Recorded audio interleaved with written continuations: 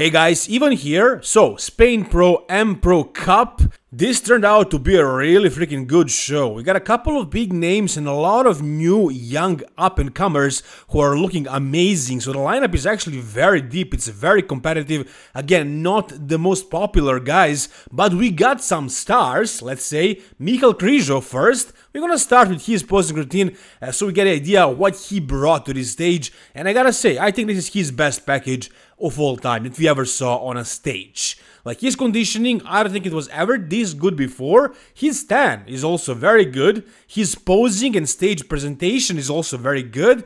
And I think he I think he improved his physique overall. I think his quads looking better. I think his abs looking amazing. I mean just the maturity of the muscle, the, the separation, the, the the the 3D. I mean he just looks amazing. He looks crazy. And yeah, I think he's winning this show.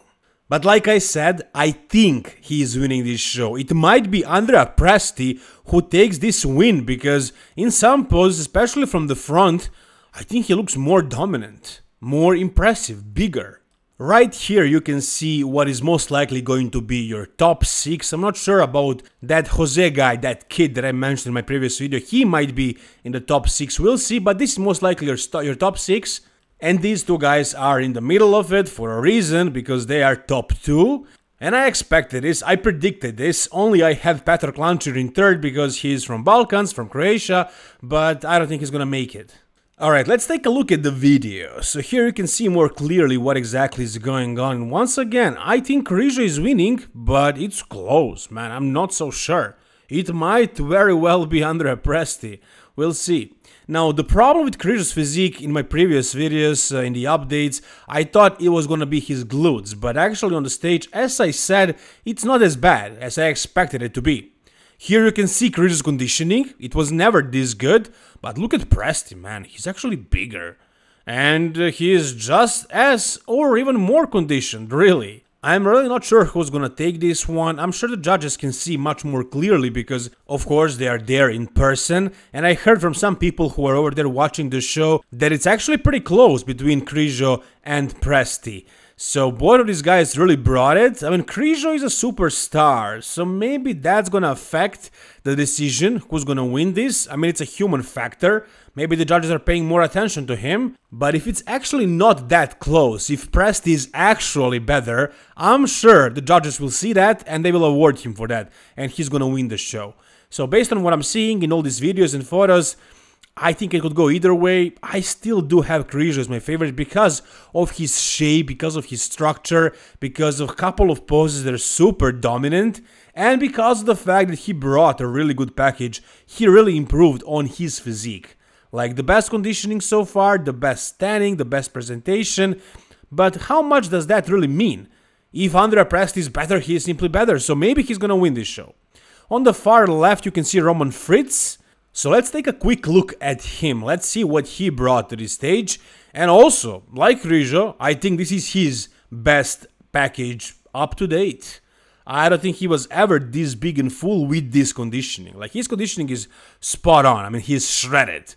He does not need to be any more shredded than this. Check out the glutes and the hamstrings, man. Like he is built. And he's like 270 at this show. So he is big. He's big and he's heavy and he's really shredded. And he improved. Is that enough to beat some guys? This is actually the battle for that fifth spot. Can he beat these two guys and, you know, take that fifth? I don't think so. I don't see it. I think it's gonna be Petr Klančar who wins that fifth spot. He's the guy on the right. He's the Croatian guy.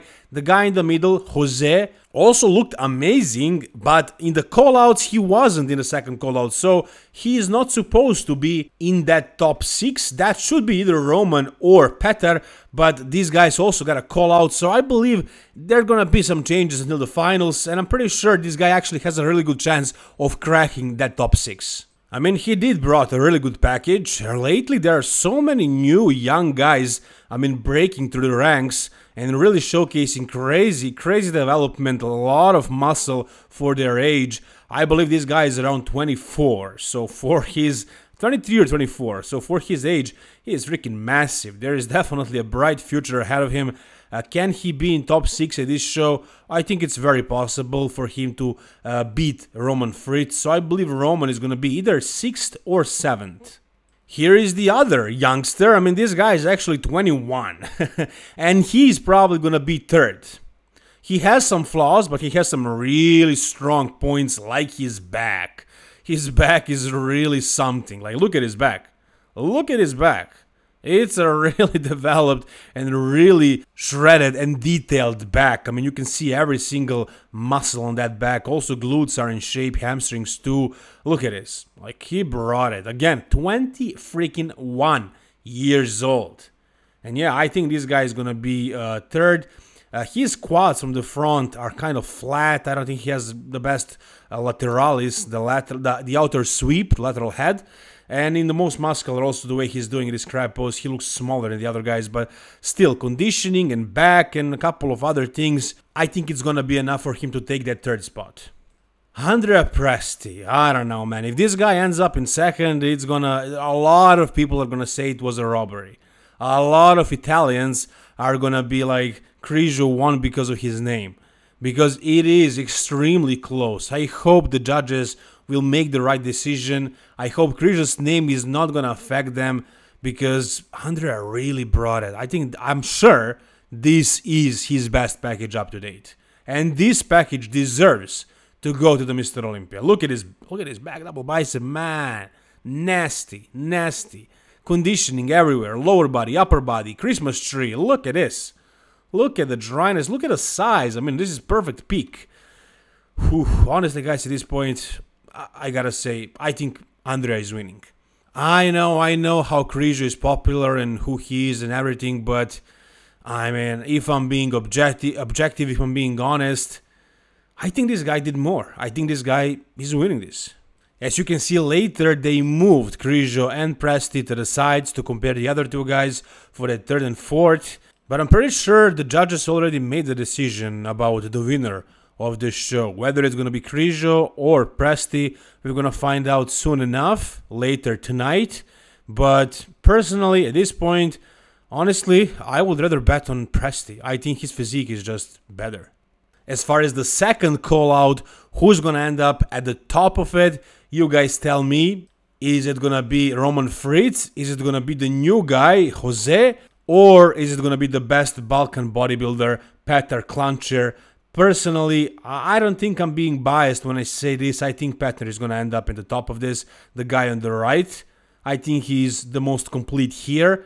Uh, I was hoping he's going to be, you know, top three or win the show, but uh, based on what I'm seeing, I don't think he has it. Like, I think this is his best package up to date or maybe it was 2016 Arnold Classic Europe, I'm not sure, but I think he was really conditioned uh, for this show. I think his legs suffered because of that. I think his legs were a little bit smaller than usual.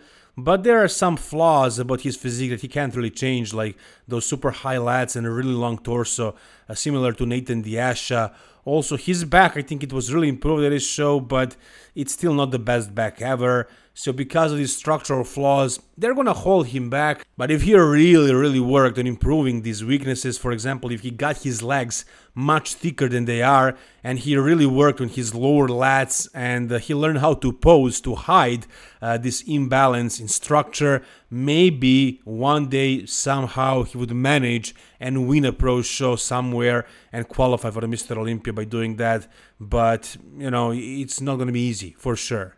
Anyways, guys, make sure to leave the comments down below and let me know who do you think is gonna win this show, Presti or Krizo. If you guys enjoyed this video, please give it a thumbs up. If you wanna support me, you can subscribe, but also you can check out the link in the description of this video, which is gonna take you to the Old School Labs website where you can order any of the supplements you need. And I'm telling you, they have the best supplements on the market right now. You will like everything, whatever you try. If you don't like it, you can get your money back. And if you use the code IVAN, my code, you get a 15% discount and I get my percent, my commission. So that is how you can support me and this channel if you want me to keep making this awesome content for you guys. Thank you so much, guys, for all your support. All the best and bye bye.